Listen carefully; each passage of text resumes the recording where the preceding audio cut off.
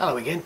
Um, the last couple of videos have been very uh, long and very wordy so I thought uh, that what I would do with this video is actually put in some of the music that I'm working on for this new album uh, with some of the sound effects and just just a, they're all sort of working models of tracks um, bits of pieces that are either from my mobile phone or have been re-recorded in Logic as a sort of next demo version of the song with uh, with some backing within them. Um, no vocals as yet, I've got some melody lines but uh, anyway that's what this video is about. Uh, I will shut up and just let the, uh, uh, the music do the talking.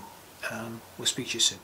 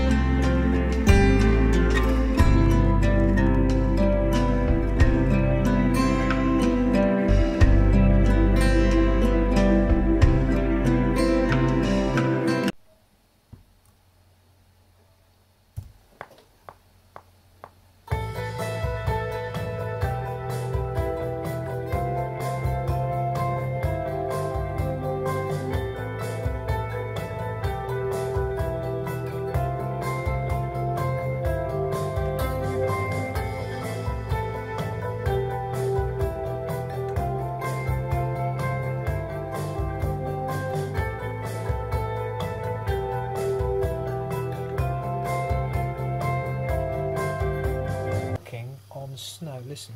Oh yeah. It really does.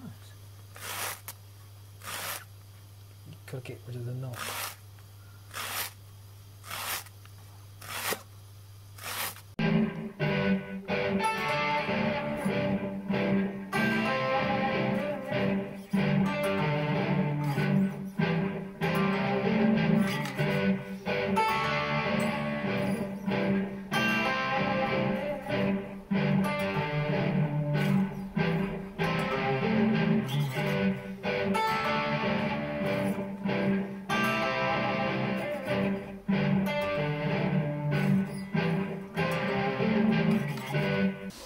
Uh, one of the tracks which I just called Soul Burn um, because it was one of those sort of sticky words that came in in a nonsensical lyric uh, while I was strumming the guitar. Uh, I woke up one morning and I heard some other guitars that, that could go, or a guitar that would go over the top. Very simple um, notes. So the the guitar that I had um, the main part that I started with was this.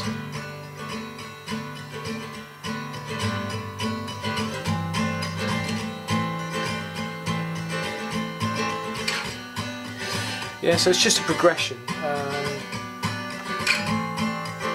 very, very simple the, the guitar that I just kept on going around in my head were these, uh, doubled them up. Um, so it's these. Stop. Just that.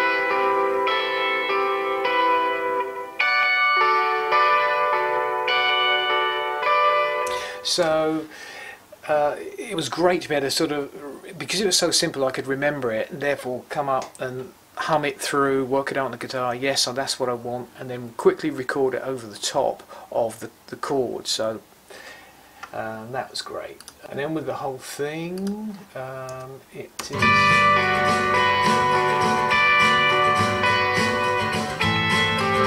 Very simple bass.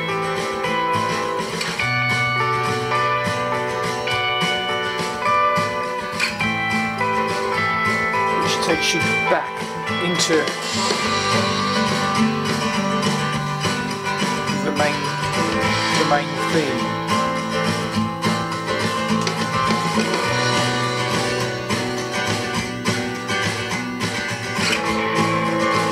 So yeah, that, that's kind of another little, little idea that's uh, that just appeared out of nowhere.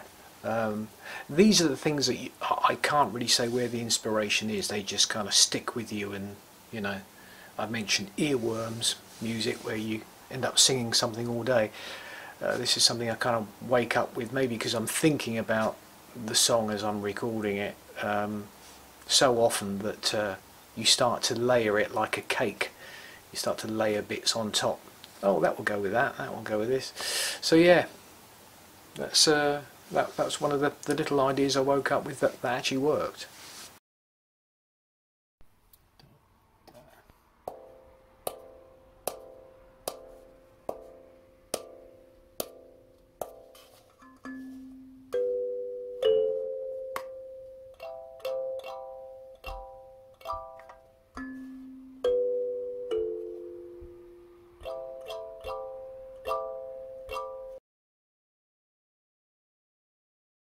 Some of the things I've been doing uh, has been collecting and uh, using real natural sounds um, for the, for this album. And something I did years ago um, was actually collect bird sounds and reverse them and make effects out of them um, or rhythms out of them. And I thought I'd resurrect that idea. It's it's not a new idea, but uh, I, I I wanted something that that um, I think initially I was looking for natural bird sounds in the woods, and then the music would would uh, appear over the top of that, and all the while would be like a, a sort of forest or woodland birds uh, singing in the background that would gradually sort of die back so you could barely hear it but it would still be there with the ambience of the wind and the trees. Um, I kind of scrapped that idea because um, it, it I, I, think it was it had the potential of getting in the way of the whole track.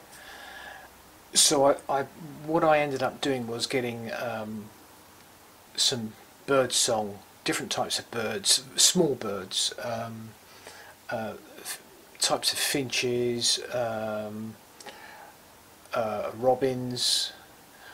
Uh, what else did I use? I can't remember now.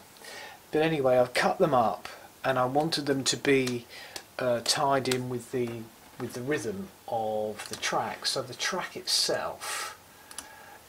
Uh, let's see. It's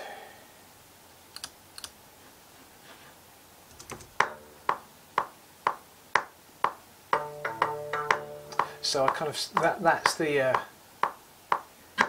this is 123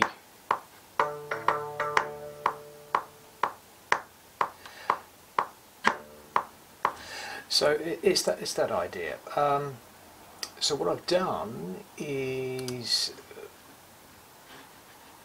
in on this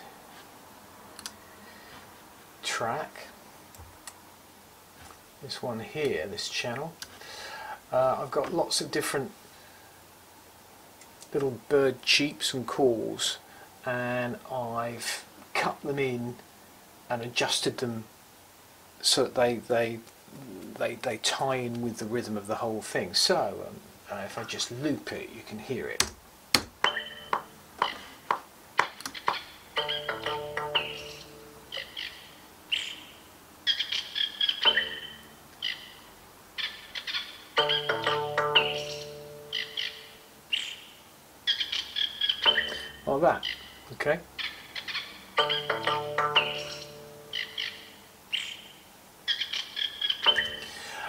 so that's a nice little loop, and then we follow that in with the rest of the music. Uh, so, I'll play a little bit of that. And you can hear it, hear it build up. Um, the the main guitar piece, actually, it's um, the, start of this would be uh, this. Let me play this.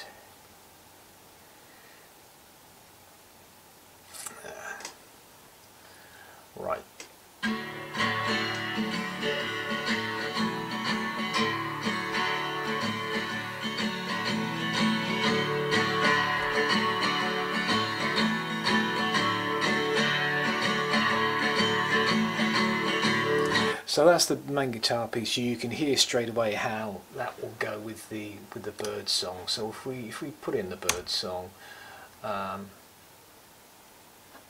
it's uh, there, I think.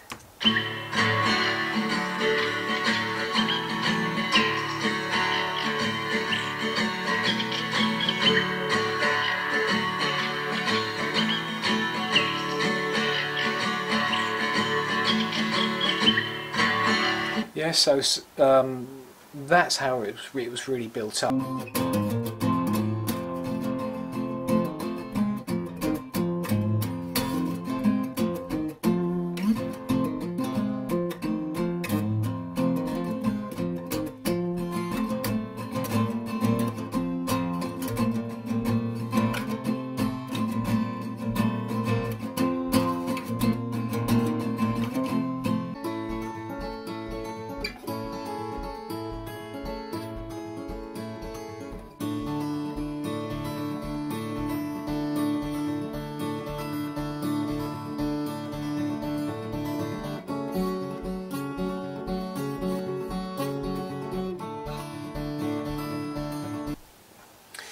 There have been a couple of um, instances, in, in particular with this album, where uh, where I wanted to change the the feel of the music within within the song, make it feel um, slightly more uneasy. Lazy Summer was was um, one of them, and that's because I I already know what the song is about, and I have the lyrics, and I knew there was a section there that's that was odd. Um, so I wanted it to feel like it was. Uh, things were slightly falling apart and then as you track the lyrics over the top you realise it's not such a dark thing it's actually quite a fun thing that was happening um, so it, it, it resolves itself and then becomes uh, more positive again back into the song a slightly lesser version of that was with a, uh, a track uh, that I've got called All That You Carry. And um, that has if you go into you know the chorus is nice and light and it's just it's just a as it is here. Let me play play the chorus. So the chorus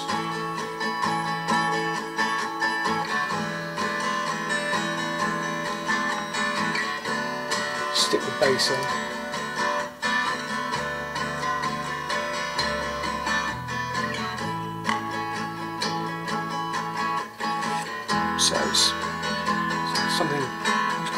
offensive thing. If I play the whole the whole part of that, um, so the whole part of that chorus is.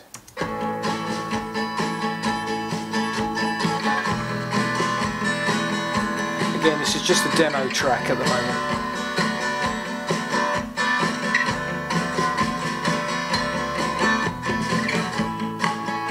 So you kind of know where it's going. You know, it's not doing anything special. Um, the, the the verse that goes into that is.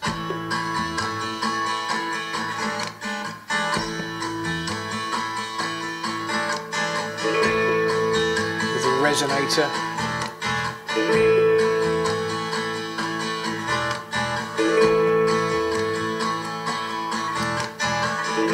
Nice and open for the words, and then it builds up.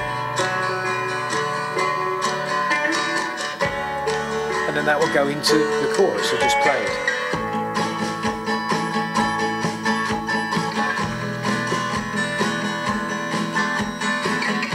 So that's all all fine and dandy. It's all, all pretty basic stuff.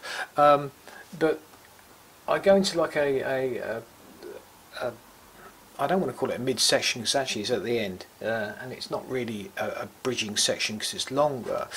But um, I I had something that wanted to be wanted to change the I wanted to change the feel of it so it becomes a little bit more pressured and there's something else going on here um, to sort of that little swingy lightness. I wanted to to get rid of that and bring it back into something more serious sounding. Um, so I came up with a a bridging piece and then it goes into like a what I call here an outro but so have a, have a listen. You'll hear the, the chords change and there's something that's slightly, not odd, but just um, a little bit less positive. So we'll play half the chorus and then it'll go straight into this section. So coming out, we'll come out of the chorus and it's fed in by some strings that are doing odd, slightly odd things.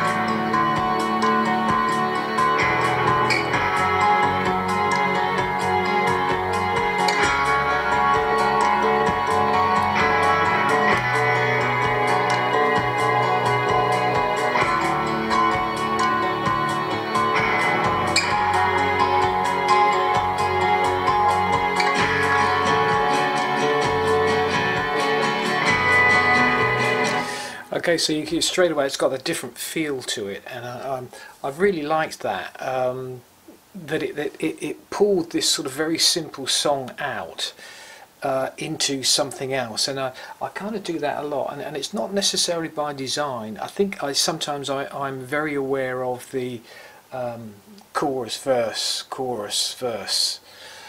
Um, type of phenomenon that, that you get sucked into. And I and I, I tend to like to inject uh, different pieces of, of, music which may or may not be sung over that have a that have a different feel just to just to broaden the uh, the scope of the song a little bit. Um, as I say it's nothing clever. It's it but but I, I like it. It adds that extra interest to the to the track um, so yeah, I like that. It's it's it's kind of beefs up the whole thing. Um, so there you go.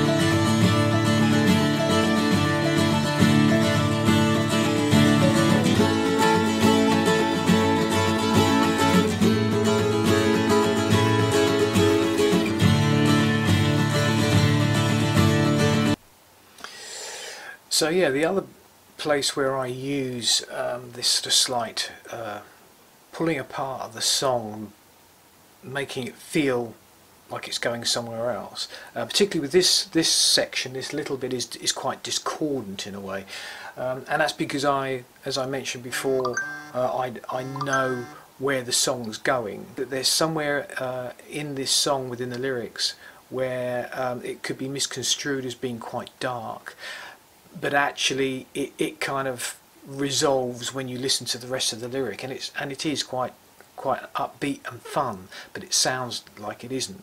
So I wanted to reflect that in the music and, and go from something sort of happy tra la la to something that's a lot darker and, as I say, discordant. So to show you that, we come out of the chorus and then we'll go straight into this this other section, uh, and and you'll hear it, and then it will resolve again. So this is the section. This is the second part of the chorus into this slightly discordant piece.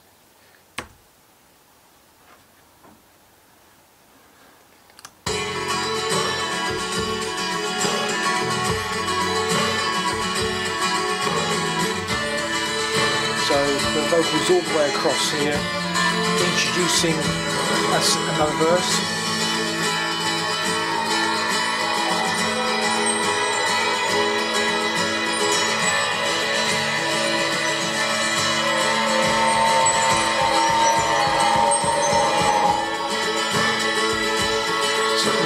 It. You've still got that mellotron sound.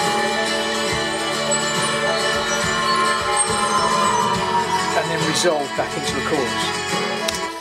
So, yeah, that, that ties in really nicely with uh, with the words, how the words are going to sing over the top.